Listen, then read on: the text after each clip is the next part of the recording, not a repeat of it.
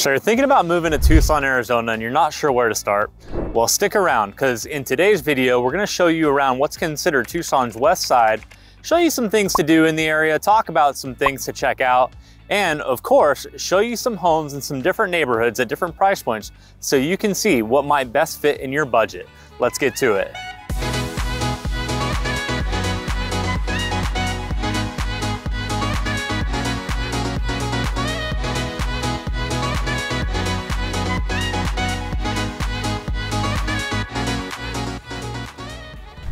If you're new to this channel and want to learn everything from A to Z about living in Tucson, AZ, then click subscribe and tap that bell for notifications so you can be the first to learn about the current market in Tucson, Arizona. Hi, I'm Dustin Smith. My wife Jennifer and I have helped hundreds of people just like you move to and from Tucson, Arizona. So whether you're moving in 12 days, 12 weeks, or 12 months, give us a call, shoot us a text or an email so we can help you make a smooth move. Let's go. All right. So generally when we're talking about Tucson's west side, we're talking about an area that is west of I-10, pretty much across from uh, downtown Tucson, uh, that goes up to the Tucson Mountains and pretty much as far north as Marana. In fact, there's like an overlap between what's considered, you know, West Tucson and Marana. Uh, so you might see areas that look familiar if you're if you've seen our Marana video because you know Marana being a municipality and, and West Tucson kind of just being an area of real estate that we we generically refer to in the Tucson area. Um, so lots of things to do in Tucson's west side. I mean, we're really close proximity to downtown Tucson. Looking at that, that's probably a four or five minute drive from here. It looks a little bit further away in the video than it is actually in person. Um, You've got great hiking trails in the Tucson mountains. Uh, you're about 15 to 20 minutes away from the Sonoran Desert Museum, depending on where you're at. That is a fun spot to check if you're visiting in Tucson in general, doesn't matter what spot of town you're in. Um, you go up there, they have great wildlife exhibits, they have great you know, insects, um, in insect displays, rattlesnake displays, um, they have an indoor aquarium, some different indoor stuff. So even if you're here in the summer, it's still a cool spot to check out. So, oh, they even have a uh, like a walk-through man-made cave with that has some great exhibits in there too. A little cool spot to hang out. So definitely an awesome spot to, to check out just visiting Tucson in general. Um, since it, you know, West Tucson pretty much goes up to the Marana area, uh, we're pretty close to the most southern part of what's considered West Tucson right here. Uh, and as you approach Marana, you get more and more stuff to do. So uh, Marana has been definitely building up like a lot over the last like 10, 15 years. So you've got a lot of shopping over there. Uh, you've got Top Golf. There's even um, skydiving in Marana. Uh, if you enjoyed doing something like that to get a little more thrills. And then all the hiking and stuff too. You got a lot of hiking here and it's pretty much just easy commute uh, to most spots within Tucson as well. And if you uh, if you are going to be like commuting up to Phoenix, I know a lot of people that look in the Tucson area. Uh, they have family in Phoenix, but they don't necessarily want to live up there for one reason or another.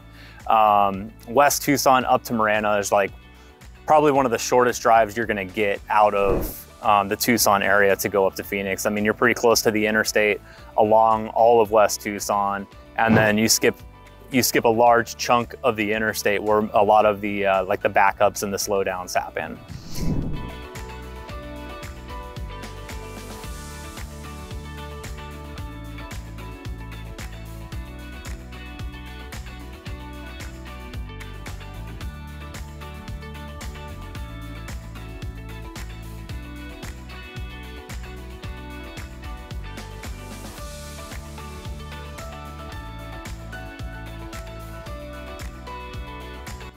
All right, so the first neighborhood we're checking out today is Ironwood in Tucson's west side.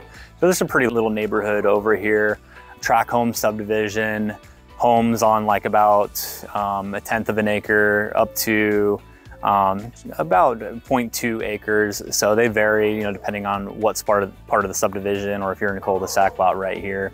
Very close to grocery shopping. In fact, on the other side of this home for sale right now uh, is a shopping plaza. So you've got less than five minutes to get to a grocery store right there.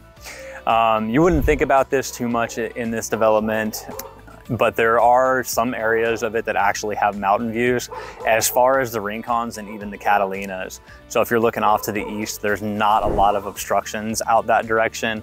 Uh, and if you're in certain parts of the development, um, I mean, not this one because there's actually buildings right over there, um, you will actually have some views over to the much closer Tucson mountain ranges as well. Uh, so HOA fee here is like 30 bucks a month. So you know, not bad, gonna take care of some common area maintenance, architectural review, uh, just, you know, basic things like that. Make sure that people are, you know, taking care of their homes, not leaving junk cars in the front yard, you know, things of that nature. Um, home for sale right here, of course, three bedroom, two bath. 1,176 square foot on 0.13 acres, currently listed at $350,000. You know, it's a pretty solid home, clean paint inside, outside, looks like it's been taken care of and has newer appliances. Throughout the development, we do have um, homes in here that start off around 340 and get pretty close to 400 as well. So I hope you guys liked Ironwood. Uh, let's keep moving. Let's go check out some more.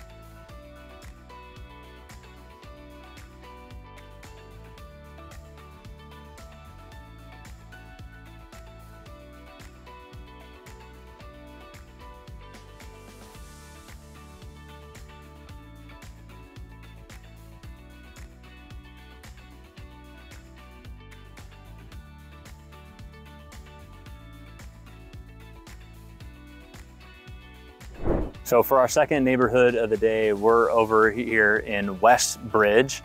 So this is a new home development. We like to show you new home developments every once in a while because in some cases they're actually coming out very competitive with the resale market. Now this home behind me listed at 473,000 is a two bedroom and two bath, but it's 1,815 square foot and it's on 0.16 acres. So of course, you know, big benefit with new construction is everything within it is new. So you have those, you know, basic bumper to bumper um, builder warranties for year one, and some of those builder warranties actually stretch out to like 10 years, and it can be different from builder to builder. Uh, which brings me to another point. Um, even when you're talking to like a new home construction site, it's always best to be represented by an agent. So even if you're not working with us, I definitely recommend reaching out to a real estate agent uh, that is familiar with new build construction because there's just you know some tips and tricks that we can help you uh, through the building process and even after closing uh, to make sure that you're covered by those warranties and that you can most easily utilize them and help you with the negotiation of course on those. And uh, best part of that is um, you don't pay anything extra to be represented by an agent.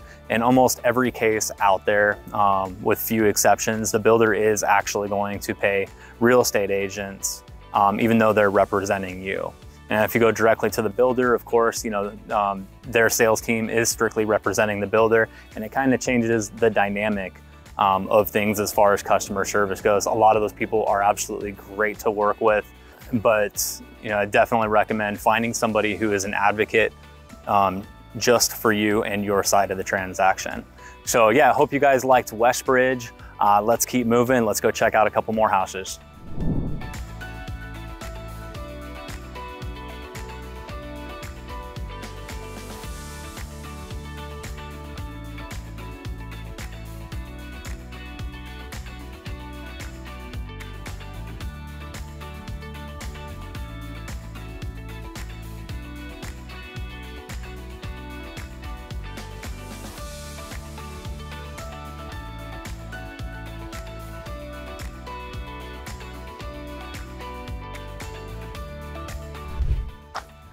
The last neighborhood we're showing you today is Rancho del Cerro.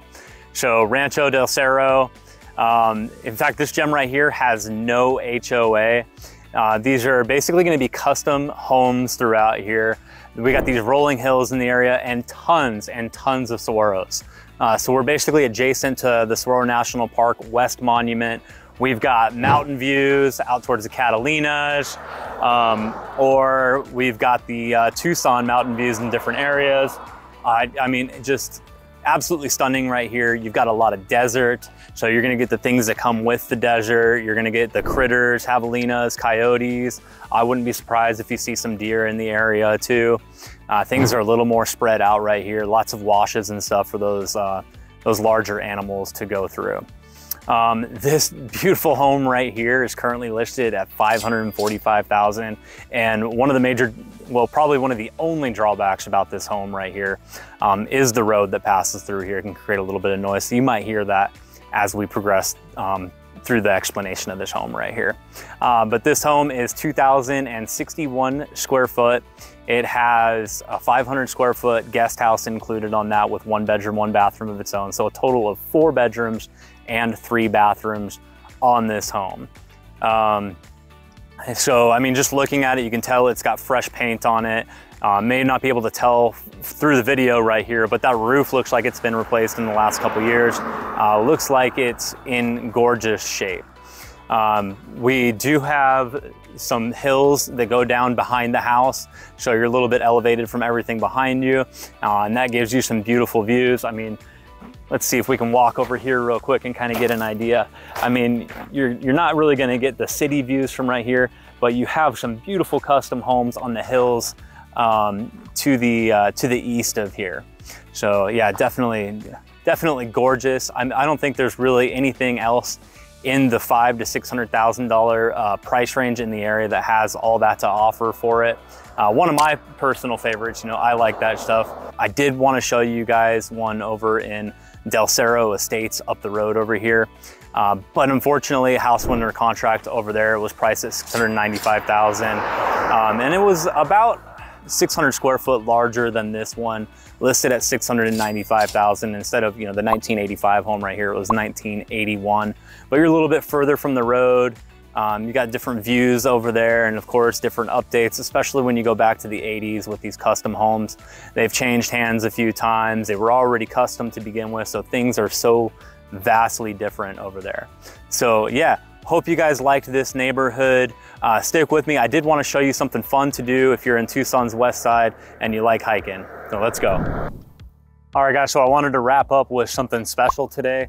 So behind me is Tumamoc Hill. So a lot of people on the west side enjoy this for nothing else but to get some good exercise and some good views. Um, I'll tell you, the trail is nice and well maintained like this all the way to the top. Uh, we've actually pushed double strollers up this a couple times, getting the kids up there. You know, really gets in a good uh, workout right there. I'll tell you, it's not easy pushing that double stroller, but the trail allows for it. Um, and every time I've gone up there, I've actually seen deer on the way up there too. So pretty neat being this close to the city, but still getting in those hills and, and having the ability to see some wildlife. So yeah, if you're, uh, if you're up for a challenging and rewarding hike, check out Tumamoc. There's an old abandoned observatory out there. When you get to the top, you've got just absolutely stunning views of downtown Tucson. Um, so there's, you can do it in the evening if you want. Uh, the trail is supposed to be open until about 10 p.m. Um, you're definitely gonna run into a lot of other hikers up here. It is quite busy, so keep that in mind. And um, as always, if you like the video, make sure to hit the like button, Click subscribe and tap the bell for notifications to be the first to learn about the current market in Tucson, Arizona. And if you or someone you know is thinking about moving to or from Tucson, give us a call, shoot us a text or email so we can help you make a smooth move. If you've got something to tell us about Tucson's west side, or uh, if you have questions, let us know in the comments. Um, and of course, our contact information is in the description below. Thank you guys. See you on the next video.